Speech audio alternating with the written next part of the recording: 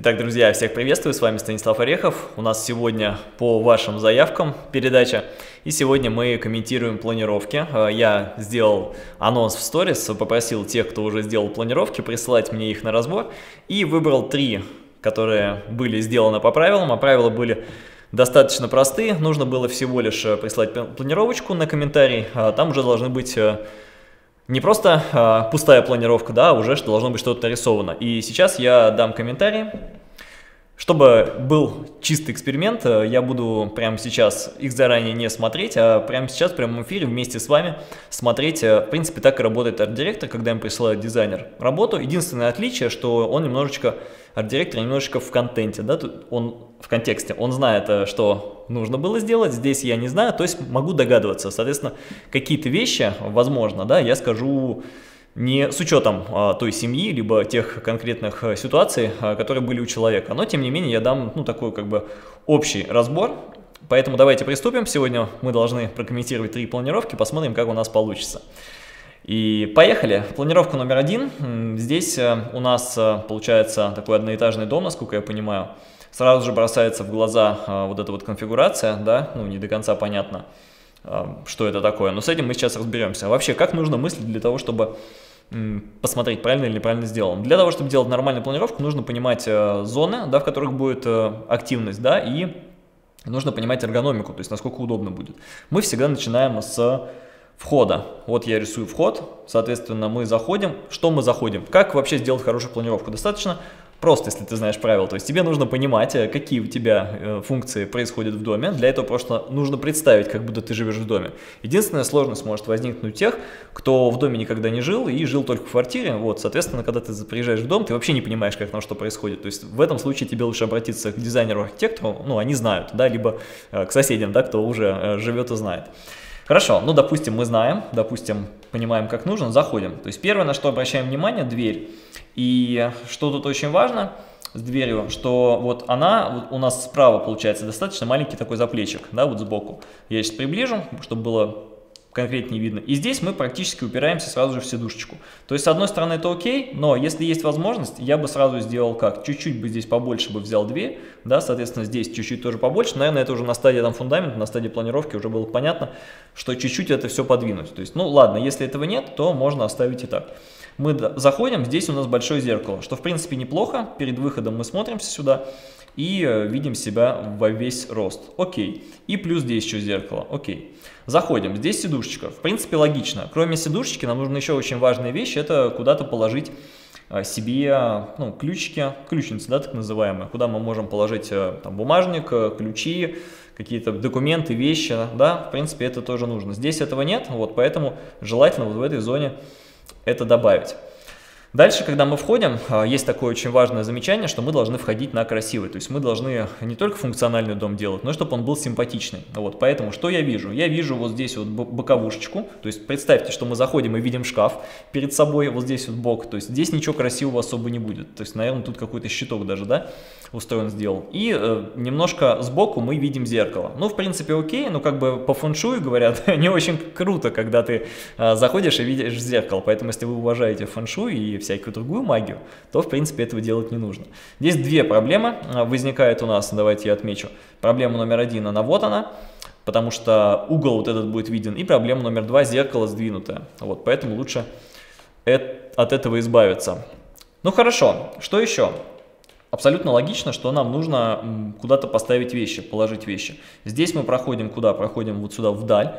Мы видим вот этот шкаф. Окей, шкаф у нас есть. Но, знаете, в чем тут минус вот этого большого шкафа, если предыдущие даже вещи мы учли? В том, что нам надо идти по дому достаточно много. То есть, если у нас грязная обувь, у нас вот сюда, сюда, сюда пошел весь мусор. Да, отсюда он растащился по всему дому.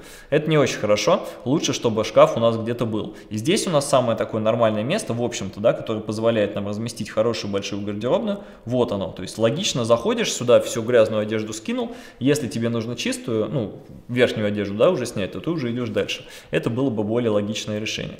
Вот эти всякие декоративные перегородки вообще никогда не нужно Делать вообще никогда никакие декоративные перегородки лучше не использовать. Лучше пространство решать сразу, чтобы оно нормально работало. Поэтому вот это точно нет.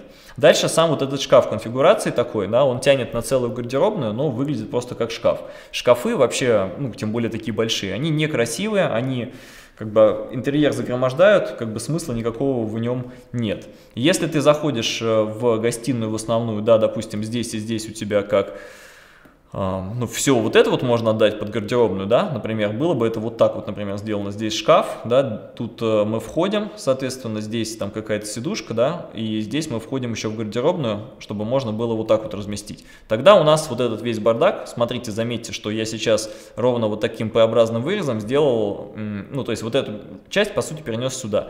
И при этом у нас аккуратненько тут дверь, получается, вход. Все, мы входим, там ведь вся бардачина, все висит, нам не нужно ничего, вот эту вот большую, длинную, вот эту делать э, конструкцию шкафа, у нас все четко, аккуратно. Плюс вот эту стенку мы можем сделать каким-то красивым там акцентом, ее можно там, не знаю, в стиле лофт сделать, задекорировать как-то, то есть которая будет двигаться туда-сюда. То есть сама по себе вот эта вот конструкция, да, сбоку можно поставить, естественно, тут какие-то цветы или что-то, да, какие-то более интересные вещи. Вот, таким образом у нас будет, э, ну, уже композиция, да, если сбоку я сейчас попытаюсь нарисовать, сбоку это будет выглядеть так. То есть я напоминаю, что это мы входим, да, и все это смотрим. Сбоку это будет выглядеть примерно так. Допустим, какая-то дверь, либо даже не дверь, а до конца, до потолка. Вот она может быть какая-то, я не знаю, какой здесь стиль, в принципе, любой в стиле лофт. И здесь у нас какие-то там цветы, растения. Вот у нас и подсветка, допустим, сверху. Вот у нас сразу же интерьерная история появляется вместо вот этой вот боковушки. То есть задача дизайнера, архитектора запроектировать так, как человек будет входить и будет видеть. Так, надеюсь, с этим все понятно. Все это дело стираю. Хорошо, что дальше?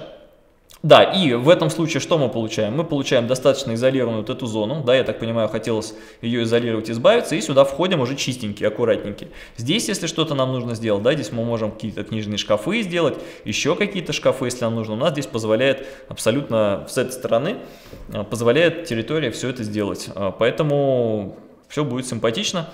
Примерно так. Единственный э, минус э, в этом всем вопросе в том, что сюда не будет попадать солнечного света достаточно. Но в принципе, может быть, это и не нужно, потому что, ну, то есть можно сделать, сколько тут, 2 метра проем, что будет вполне достаточно, да, и здесь вот гардеробочку, а сюда будет, ну, так или иначе попадать. Здесь, тем более, мы не останавливаемся надолго. Плюс я бы посмотрел еще, как в доме сделано, возможно, стоило бы здесь или здесь где-то на фасаде сделать тоже отверстие. Может быть какое-то круглое, может быть еще какое-то, может быть в пол, может быть вот эту дверь сделать стеклянную, чтобы вот сюда попадал свет. Это было бы тоже классно, то есть входную дверь сделать стеклянную. Таким образом я бы отсек всю вот эту часть общую, да, и у нас бы получился вот такой вот красивый уже освещенный функциональный интерьер. Так, с этим мы разобрались, да, это только первая часть. Идем дальше. Дальше мы заходим, и что мы видим? Мы видим кухню. Ну, во-первых, по планировке вот эта вот верхняя часть не показывается. У нас отсек всегда идет отсечение на высоте h равно 1100. Ну, такая вот у нас задача, да, дизайнерская. Отсечься на h1100. Все, что выше, показывать не надо. Это уже показывается на развертках, либо на визуализации. Вот. А то, что внутри, обычно наоборот показывает, то есть нужно понять, где у вас какие шкафы будут, да, по 600 там, поскольку они будут, что будет храниться. Ну, допустим, окей. Холодильник, в принципе, нормально. Мне нравится, что вот эта стенка, она тоже сделана именно стенкой, то есть холодильник видно не будет. Только тут надо за, ну, учесть, чтобы он был, ну, размер холодильника, если это большой какой-то side-by-side холодильник, то он больше 60, а не 55 плюс на 5 сантиметров, а обычно больше. Вот, поэтому он может не влезть. Лучше понимать, какая у нас будет э, какой у нас будет холодильник. Идем дальше. Что следующее? Следующее, ну вот здесь по, по кухне сказать ничего не могу. Мне нравится то, что у вас сделана большая вот эта линия. Это очень классно. Хорошая история с линией, поэтому здесь все классно. Дальше окно отлично. Готовка, все хорошо. Ну, в принципе, если лестница здесь сделана по центру, ну как бы окей. Здесь тоже все хорошо, расстояние вполне, 1200, э, хорошее расстояние, если тут есть, тут, ну, тут похоже примерно такое. С этим все нормально, стол отлично. С этой стороны сидим, да, для завтраков. Ну вот единственное, что может быть для такого большого дома, а, два места достаточно мало. То есть может быть чуть-чуть побольше сделать, ну где-то, да, и все-таки три стульчика уместить. Как-то оно, мне кажется, больше позволяет. Вот. С этой стороны понятно, что не нужно, да, потому что здесь будет, э, скорее всего, там с той стороны шкафы, что тоже, в принципе, неплохо. Как вариант, сюда тоже можно либо мойку занести, да, либо плиту, но это не обязательно. Сейчас, в общем-то, эта тема нормально сделана, поэтому с этой стороны ставим плюсик в планировке, идем дальше. Здесь у нас получается стол, хорошо.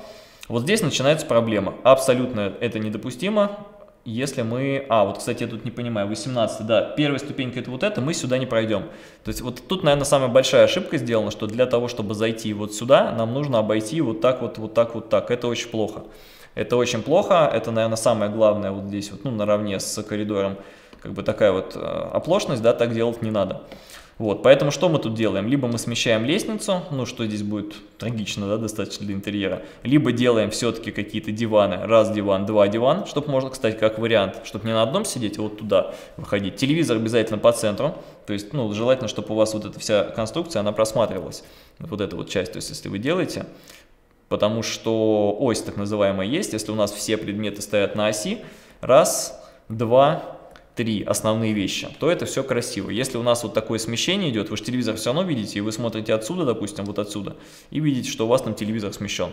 Это не очень клево, поэтому старайтесь, э, правило такое, сделайте ось и по оси выдвигайте там весь вот этот вот, э, всю остальную конструкцию. Вот, как вариант здесь? Решение, в принципе, неплохое, да, я вам сейчас показал, не меняя, не трогая конфигурацию всего дома, значит, делайте очень просто, значит, диван 1, а, диван 2. Вот так вот сидите, ну как бы боком получается.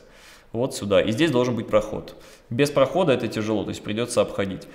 Другой вариант, это, наверное, там лестницу переносить, либо еще что-то сделать. Но здесь уже нужно, наверное, индивидуально как-то смотреть отдельно.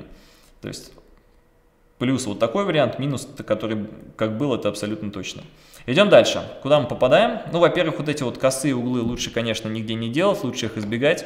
Получается некрасиво всегда, вот мы заходим, тут какой-то кусок, а, тут какой-то кусок непонятный ни туда, ни сюда. Лучше так не делать.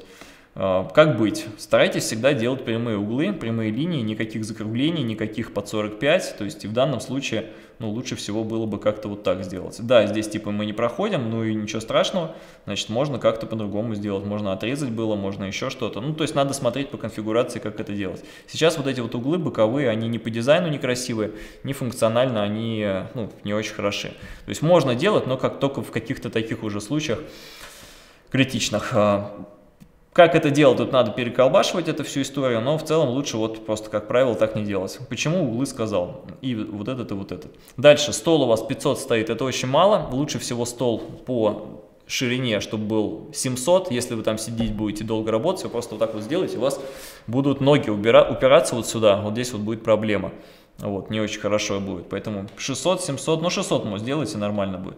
Здесь, кстати, хорошо, что вы сделали открытие, чтобы было понятно, что открывается. Еще в таких случаях обычно сразу же рисуются шторы. Вот здесь у вас будут шторы, не будут. Почему?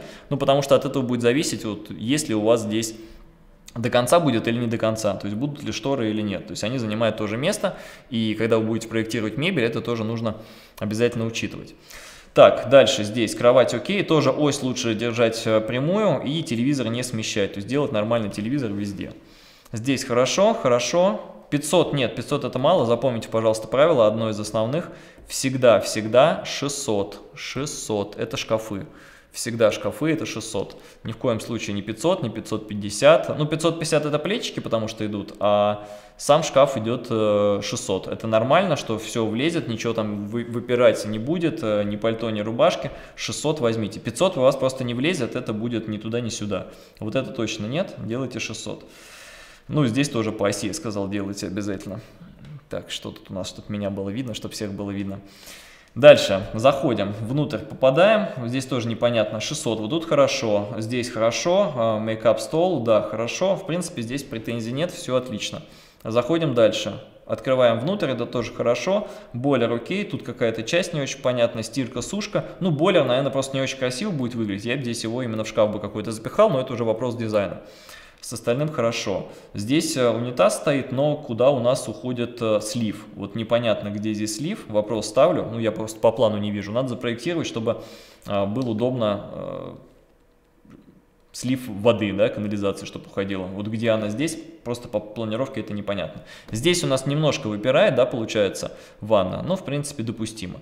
У вас достаточно большой объем, я бы ванну делал отдельно стоящей, она прикольно смотрится, чем встроенная, нормально Я думаю, даже можно по-другому сделать. У вас прикольно получается. Ванну вообще я бы вот так вот, наверное, поставил, чтобы красиво было. Ну, в этот самый в окно смотреть. И тогда уже как-то по-другому можно конфигурацию сделать, ну, все остальное. То есть здесь самая красота именно в ванной, что она стоит около окна. Представляете, как будет здорово, когда заходишь. То есть я бы так сделал.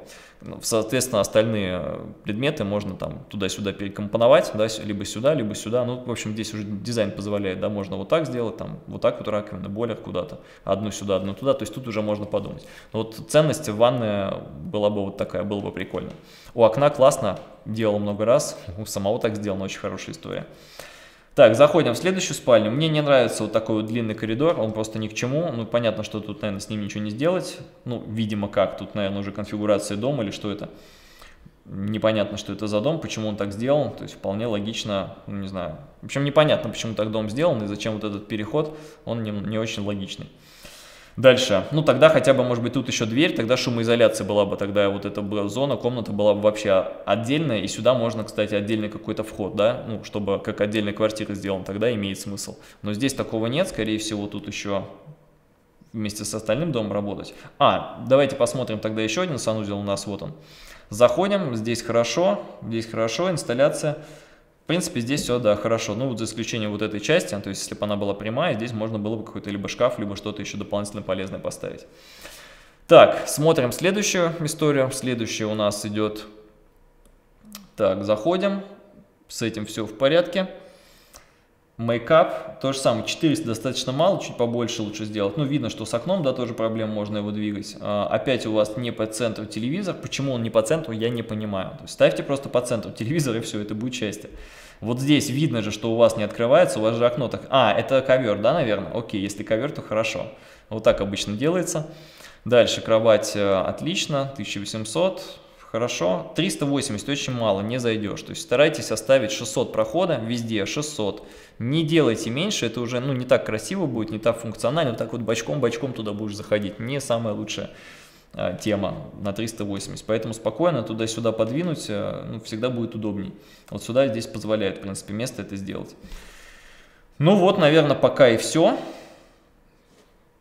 Спасибо за э, присланную планировку. Надеюсь, комментарии были полезны. Если да, то пишите комментарии. Если с чем-то не согласны, пишите комментарии. И в следующих планировках увидимся на следующих видео. Если вам все это интересно, э, пишите, какие еще разборы делать, присылайте планировки, будет время, будем комментировать. А те, кто хочет самостоятельно научиться всему этому процессу, приходите на курс по дизайну, где я вас обучаю лично по своей технологии работать и разбирать планировки так. На курсе я разбираю примерно вот такие планировки, ваши уже планировки и учу вас работать. Если вы хотите сделать собственный дом, точно так же вы можете со мной сделать собственный дом самостоятельно с моим надзором, то есть вы получаете опытного преподавателя в качестве своего арт-директора, наставника, который вместе с вами не позволит вам ошибиться и сделать свой дом такой, как он должен быть. Все, до встречи и удачи!